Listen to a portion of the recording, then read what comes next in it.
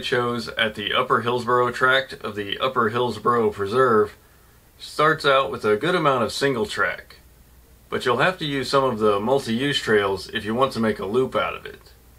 You'll also have to ford the Hillsborough River about halfway around. This crossing isn't too bad, but you'll have to cross the river again before you make it back to the trailhead, and at that point, the water's really deep this time of year. I'll let you decide if you think I went for it or if I doubled back the seven miles to the van.